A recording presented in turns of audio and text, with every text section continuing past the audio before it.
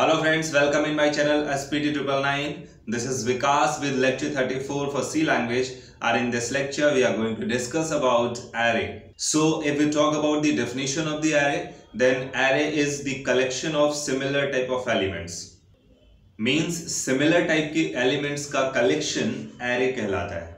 Array एक problem का solution है जब प्रोग्रामिंग में आपको सिमिलर टाइप के बहुत सारे वेरिएबल्स बनाने होते हैं. मान लीजिए कि आपको कोई प्रोग्राम बनाना है जिसमें आप टेन इंटीजर टाइप के वेरिएबल्स बनाना चाहते हैं या हंड्रेड इंटीजर टाइप के वेरिएबल्स बनाना चाहते हैं।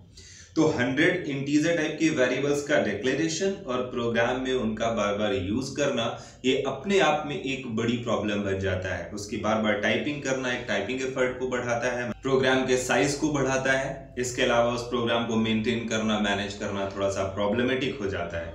तो एरे ऐसी प्रॉब्लम का एक बेस्ट सोल्यूशन है प्रोग्रामिंग में। एरे का यूज़ करके आप सिमिलर टाइप के बहुत सारे वेरिएबल्स बड़ी आसानी से बना सकते हैं और उनको बहुत आसानी से मैनेज कर सकते हैं। तो आइए जरा समझते हैं। मान लीजिए आपको 100 इंटीजर टाइप के वेरिएबल्स बनाने हैं। तो आप डेटा टाइप लिखेंगे इंट एक वेरिएबल का नाम लिख दीजिएगा, कुछ भी हो सकता है वो, जैसे कि हमने एक्स नाम का ले लिया। पे स्क्वायर ब्रैकेट से इसको बंद करिएगा ऐसे, और इसके अंदर साइज़ लिख दीजिएगा 100 टर्मिनेटर लगा दीजिए, और बस आपके 100 वेरिएबल्स बन गए। तो सिर्फ़ इतना लिखने से 100 वेरिएबल्स यहाँ पे बन जाते हैं इंटीजर टाइप के, और इसे हम एरे कहते हैं। किसी भी वेरिएबल के साथ स्क्वायर ब्रैकेट और उसके अंदर ये साइज़ बताता है। तो इसको आप बोल सकते हैं एरे का डिक्लेरेशन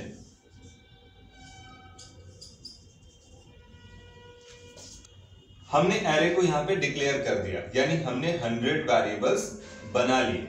अब आप ये सोच रहे होंगे कि वो 100 वेरिएबल्स यहाँ पे किस नाम से हैं और उनका मेमोरी कंजप्शन या ऑर्गेनाइजेशन किस टाइप से होगा? तो आइए उसको भी समझते हैं। इजी एक्सप्लेनेशन के लिए इसका साइज़ हम छोटा कर देते हैं। मान लीजिए हम इसको पाँच के साइज़ का ले देते हैं। इट मीन्स कि हमने यहाँ पे पाँच वेरिएबल बना रखे हैं इंटीजर टाइप के। तो मेमोरी में ये किस तरह से ऑर्गेनाइज होगा? आपको पता है इंटीजर का साइज़ अपने कंपाइलर के अकॉर्डिंग सेट होगा, दो बाइट या चार बाइट जो भी है। तो मान लीजिए दो बाइट का है इंटीजर तो यहाँ पे दो दो बाइट के पाँच ब्लॉक बन जाएँगे। One two three four and five जैसे आप ये लिखेंगे तो ये पाँच ब्लॉक यहाँ पे क्रिएट होंगे। फ़र्स्ट ब्लॉक का नाम होगा एक्स और स्क्वायर ब्रैकेट में ज़ीरो एक्स और स्क्वायर ब्रैकेट में वन एक्स स्क्वायर ब्रैकेट में टू थ्री और इसका होगा फोर तो ये है इन पाँचों ब्लॉक के नेम जो x ज़ीरो से स्टार्ट होता है और साइज़ माइनस वन तक जाता है, क्योंकि ज़ीरो से स्टार्ट हुआ है। अब यहाँ पे स्क्वायर ब्रैकेट के अंदर जो नंबर लिखा हुआ है, वो एरे का साइज़ ना होकर के एरे का इंडेक्स नंबर है। हमेशा याद रखिएगा कि स्क्वायर ब्रैकेट के अंदर जो भी लिखा होगा नंबर वो डिक्लेरेशन के टाइम पे एरे का साइज़ होगा। इसके अलावा कहीं भी लिखा होगा तो वो एरे का इंडेक्स नंबर होगा। अब इन पाँच ब्लॉक्स में हम वैल्यूज़ स्टोर कर सकते हैं और जब भी हमें उन वैल्यूज़ की रिक्वायरमेंट हो तो हम इस वेरिएबल नेम से उसको एक्सेस कर सकते हैं। एक्स ज़ीरो ये पूरा एक नेम है इस ब्लॉक का। आप एक वेरिएबल नेम की तरह इसको कहीं पे भी यूज़ कर सकते हैं, जैसे कि हम बाकी वेरिएबल्स को यूज़ करते हैं एक्स वाई जेड करके। तो वैसे हम इनको भी कहीं पे भी यूज़ कर सकते हैं डायरेक्टली बट अगर ऐसे वेरिएबल हमारे पास बहुत सारे मान लीजिए हंड्रेड वेरिएबल्स हैं तो उनमें वैल्यू स्टोर करना, इसके अलावा उन वैल्यूज़ को एक एक फेच करना तो अगर हम एक एक करके निकालेंगे यहाँ पे वैल्यूज़ को तो बहुत टाइम लग जाएगा और बहुत सारी चीज़ें हमें टाइप करनी पड़ेगी। तो उस प्रॉब्लम को सॉल्व करने के लिए हम लोग यहाँ पे एरे यूज़ कर लेते हैं, जो ज़ीरो से लेकर इसके साइज़ माइनस वन तक चला देते हैं और एक एक करके सारी वैल्यूज़ को निकालते हैं। तो आइए इसको भी समझते हैं। अगर हमें इस एरे के अंदर वैल्यूज़ पुट करनी हो तो किसी भी वेरिएबल को वैल्यू देने के दो तरीके होते हैं, आपको पता है। एक इनिशियलाइजेशन जब उसे डिक्लेयर किया जाए, वहीं पे वैल्यूज़ दे दी जाए, और दूसरा होता है यूज़र इनपुट तो ठीक उसी तरह से एरे में भी हम इनिशियलाइजेशन भी कर सकते हैं और यूज़र इनपुट भी करा सकते हैं। तो पहले हम यहाँ पे देखते हैं कि इनिशियलाइजेशन कैसे करते हैं। जब आप एरे को डिक्लेयर करते हैं तो यहीं पर आप इक्वल साइन लगाइएगा और करली ब्रैकेट के अंदर आप वैल्यूज़ पास कर दीजिएगा, जैसे कि 15 16 ट्वेंटी फाइव नाइन और यहाँ पे लास्ट में टर्मिनेटर तो आप इस तरह से एरे को डिक्लेयर कर सकते हैं। ऐसे में होगा क्या? X ज़ीरो में पहली वाली वैल्यू x वन में दूसरी, x टू x थ्री और x फोर में इस तरह से सारी वैल्यू अपने आप पुट हो जाएँगी। आप ये डिक्लेरेशन इस तरह से भी कर सकते थे कि आप x ज़ीरो को अलग से वैल्यू देते मान लीजिए 15 x वन को अलग से वैल्यू देते मान लीजिए 16 ऐसे करके सारे। बट ये टाइपिंग एफर्ट को बढ़ाता है, यहाँ पे सिर्फ़ पाँच वेरिएबल है, अगर 500 होते तो ये आप टाइप करते रहते हैं। तो इसकी कंपेयरिंग में ये वाला आसान तरीका है, आप डायरेक्टली भी लिख सकते हैं। तो अगर हम ये वैल्यूज़ यहाँ पे पुट करें तो सीन कुछ इस तरह से है। फाइव और नाइन अभी अगर ये वैल्यूज़ हमें प्रिंट करनी हो तो हमारे पास एक तरीका तो ये है कि हम प्रिंटफ फ़ंक्शन लगाएँ परसेंट जी लगा करके एक्स ज़ीरो को यहाँ पे प्रिंट करें। और सेम थिंग हम यहाँ पे एक्स वन को प्रिंट करें, फिर एक्स टू को प्रिंट करें एक्स थ्री को और एक्स फोर को प्रिंट करें, सारी वैल्यूज़ प्रिंट हो जाएगी। बट इसको शॉर्ट करने के लिए हम लूप यहाँ पे यूज़ करेंगे। आप यहाँ पे सिंपल लूप लगाइएगा फॉर जिसको ज़ीरो से स्टार्ट कर दीजिएगा। लेस देन साइज़ तक साइज़ हमारा फाइव है और एक का इंक्रीमेंट और यहाँ प्रिंट एफ़ में परसेंट डी एक्स और स्क्वायर ब्रैकेट के अंदर आई को कर दीजिएगा फास्ट तो आई की वैल्यू ज़ीरो होगी तो एक्स ज़ीरो यहाँ पे प्रिंट हो जाएगा आई की वैल्यू वन होगी, फिर टू और थ्री फोर करके सारी वैल्यूज़ यहाँ पे प्रिंट हो जाएँगी। तो आइए इस प्रोग्राम को एक बार रन करा के चेक करते हैं, उसके बाद एरे से रिलेटेड कुछ इंपॉर्टेंट पॉइंट्स यहाँ पे डिस्कस करेंगे और फिर एरे के कुछ और प्रोग्राम्स और यूज़र इनपुट देखेंगे। तो आइए एरे को यूज़ करके देखते हैं प्रोग्राम में। सबसे पहले डिक्लेरेशन तो डेटा टाइप इंट और एरे का नाम दे देते हैं। ब्रैकेट में उसका साइज़ ये रहा एरे का डिक्लेरेशन तो हमने पाँच वेरिएबल बना लिए हैं। Vikas zero Vikas one Vikas two Vikas three और विकास फोर इनको वैल्यूज़ प्रोवाइड करने का एक तरीका तो ये भी है कि हम यहाँ पे इस तरह से वैल्यू प्रोवाइड कर दें। विकास ज़ीरो विकास वन ऐसे करके। बट ये थोड़ा सा लॉन्ग प्रोसेस होगा। अगर हमारे पास वेरिएबल ज़्यादा है, जैसे कि हंड्रेड या फाइव हंड्रेड तो ये थोड़ा सा लेंदी होगा टाइपिंग एफर्ट बढ़ जाएगा। तो हम इसको इस तरह से भी कर सकते हैं। यहाँ पे इक्वल साइन लगाइए और करली ब्रैकेट के अंदर वैल्यूज़ पास कर दीजिए। इस तरीके से। तो ये हमारा वेरिएबल इनिशलाइजेशन हो जाएगा। यानी एरे के फाइव जो वेरिएबल्स हैं, उन सबको वैल्यू मिल जाएगी। फ़ंक्शन लगा देते हैं, इसके बाद इसको प्रिंट करते हैं। तो प्रिंट करने के लिए हमें लूप लगाना पड़ेगा, क्योंकि एरे का इंडेक्स ज़ीरो से स्टार्ट होता है, इसलिए लूप को ज़ीरो से स्टार्ट करते हैं। आई लेस देन इसको फाइव तक चलाते हैं, और I plus plus increment print function format specifier और एरे इंडेक्स में आई आई की वैल्यू बढ़ती जाएगी और हमारी वैल्यूज़ प्रिंट होती जाएँगी। यहाँ पे आई को डिक्लेयर कर सकते हैं। इसको रन करा के देखते हैं। तो ये सारी वैल्यूज़ हैं। यहाँ पे स्पेस आप दे सकते हैं या स्लैश एन स्लैश टी जैसे भी नंबर्स को प्रिंट करना चाहते हैं। स्लैश एन कर दिया हमने। तो ये सभी अलग लाइन में आ गया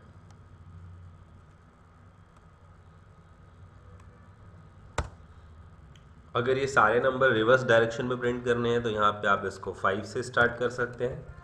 और लूप को ग्रेटर देन इक्वल ज़ीरो तक इसको फोर से स्टार्ट करना है, क्योंकि साइज़ माइनस वन तक जाता है। और यहाँ पे माइनस माइनस इसको प्रिंट करते हैं।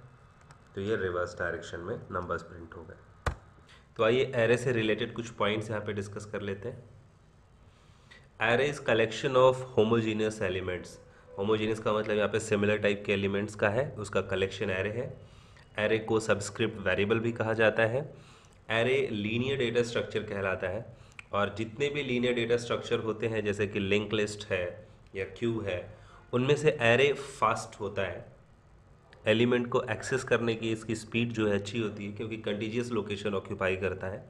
यानी सारे डेटा एलिमेंट्स एक सीक्वेंस में होते हैं, एक के बाद एक। डिक्लेरेशन हमने देखा कि डिक्लेरेशन हमने देखा कि ए फाइव और करली ब्रैकेट के अंदर वैल्यूज़ पास कर सकते हैं।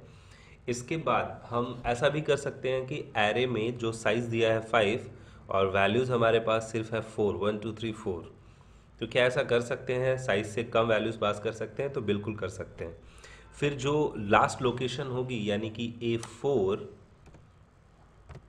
क्योंकि यहाँ ए ज़ीरो पे वन है ए वन पे टू है ए टू पे थ्री है ए थ्री पे फोर है। ए फोर क्योंकि ब्लैंक है तो वहाँ पे ज़ीरो ऑटोमेटिक प्लेस कर दिया जाएगा। इसके अलावा हम इसको ब्लैंक भी रख सकते हैं। इसमें जो भी नंबर्स आप रखेंगे, उसका साइज़ ही ऑटोमेटिक कैलकुलेट करके रख लेगा। लेकिन ये ब्लैंक स्पेस हम सिर्फ़ इनिशलाइजेशन के टाइम पे कर सकते हैं एरे में। अगर हम यूज़र इनपुट कराते हैं एरे का तो फिर ये ब्लैंक नहीं रखेंगे। इसका साइज़ देना कंपलसरी हो जाता है। बट अगर एरे के साइज़ से ज़्यादा एलिमेंट अगर आप रखते हैं तो फिर ये एक एरर है। इस तरह का एक एरर मैसेज दिखाएगा। अगर टाइप्स ऑफ़ एरे की बात करें तो एरे दो टाइप्स पे डिफाइन होता है। सिंगल डायमेंशन एरे और मल्टी डायमेंशन एरे तो सिंगल डायमेंशन को वन डी एरे भी बोलते हैं और मल्टी डायमेंशन में two D three D four D ऐसे करके आते हैं। पर टू डी और थ्री डी जो ज़्यादा यूज़ होते हैं, जिसमें से टू डी मोस्ट इंपॉर्टेंट है और बहुत ज़्यादा यूज़ होता है तो इसको हम लोग नेक्स्ट लेक्चर में देखेंगे। आइए सिंगल डायमेंशन एरे के कुछ प्रोग्राम्स यहाँ पे कर लेते हैं। मान लीजिए इस एरे के अंदर जो भी वैल्यूज़ रखी उन सभी को हम ऐड करना चाहते हैं। तो आप यहाँ पे एक एक्स्ट्रा वेरिएबल लेकर के sum is equal sum plus array के हर एक एलिमेंट को यहाँ पे ऐड करा सकते हैं। यहाँ सम को डिक्लेयर कर दीजिएगा ज़ीरो तो सम ज़ीरो और उसमें विकास ज़ीरो यानी पहली वैल्यू ऐड होगी, फिर दूसरी, फिर तीसरी और इस तरह से सारे नंबर्स प्रिंट हो जाएँगे। इसके बाद अगली लाइन में हम लिख देते हैं print f sum is equal percent d और सबको प्रिंट कर देते हैं। आपको याद होगा कि सिंगल लाइन फॉर लूप के साथ मानी जाएगी, क्योंकि करली ब्रैकेट हमने नहीं लगाया तो बाय डिफ़ॉल्ट सिंगल लाइन होगी, इसके बाद प्रिंट एफ़ लूप के बाहर है। तो इसको रन कराते एक एरर है। स्टेटमेंट मिसिंग टर्मिनेटर हमने यहाँ पे नहीं लगाया। इसको रन कराते हैं। ये ट्वेंटी करके यहाँ पे एडिशन दे रहे हैं। और ये हम लोगों ने प्रोग्राम में देखा। इनिशलाइजेशन ऑफ़ एरे और उससे रिलेटेड कुछ प्रोग्राम हम लोगों ने देखा छोटे मोटे इसके अलावा हम एरे को यूज़र इनपुट से भी ले सकते हैं। तो आइए नेक्स्ट प्रोग्राम देखते हैं। यूज़र इनपुट ऑफ़ एरे तो उसके लिए हम नंबर यहाँ से हटाते हैं। ये तो हम यूज़र से इनपुट कराएँगे। वेरिएबल रखते हैं। लूप यहाँ पे लगाना ही पड़ेगा हमें। तो उसको रख लेते हैं। इंडेक्स नंबर ज़ीरो से स्टार्ट करेंगे और less than five plus plus ये याद रखिएगा कि अगर आप यूज़र इनपुट कराते हैं तो एरे का साइज़ देना यहाँ पे कंपलसरी हो जाता है। यहाँ पे एक मैसेज दे सकते हैं हम print f enter five elements या डेटा एलिमेंट्स या वैल्यूज़ स्कैन एफ़ लूप के अंदर रखते हैं percent D M percent array का नाम और आई इस तरह से ये सारी वैल्यूज़ यहाँ पे स्टोर कर देगा। इसके बाद अगेन एक लूप लगा सकते हैं हम यहाँ पे। I less than five I plus plus ये लूप उन नंबर्स को प्रिंट करने का काम करेगा। परसेंट डी स्लैश एन लगा देते हैं। एरे का नाम और आई इसको रन कराते हैं। यहाँ पे हमें वैल्यूज़ इनपुट करनी है। One two three four five और ये रहे वैल्यूज़ हम यहाँ पे चाहें तो एक मैसेज दे सकते हैं। Print your values are slash n तो प्रिंट करने के बाद एक मैसेज भी आएगा। और अगर हम चाहते हैं हर एक वैल्यू के इनपुट होने पे मैसेज आए तो इस लाइन को यहाँ से हटा करके लूप के अंदर रख सकते हैं। कर्ली ब्रैकेट लगाना पड़ेगा। इसके बाद हम लिखते हैं प्रिंट एंटर वैल्यू अब किस नंबर की वैल्यू इनपुट करनी है तो उसके लिए हम चाहें तो यहाँ पे लिख सकते हैं एंटर परसेंट डी और कॉमा करके यहाँ पे आई दे देते हैं। तो उस इंडेक्स की वैल्यू इनपुट होती रहेगी। लूप को यहाँ पे क्लोज कर देते हैं इसको रन कराते हैं। Enter zero value your values are अभी ये zero one two three four ये इंडेक्स नंबर दे रहा है। अगर हम चाहते हैं सीक्वेंस के अकॉर्डिंग वैल्यूज़ यहाँ पे बताएँ तो आप यहाँ पे आई प्लस वन कर सकते हैं।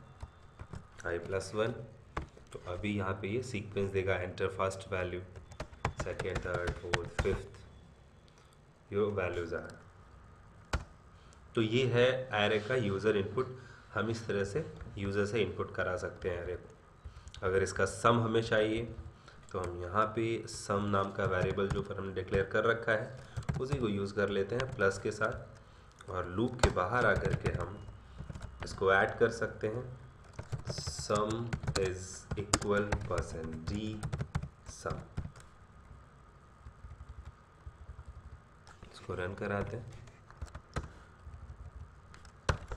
रन कराते हैं।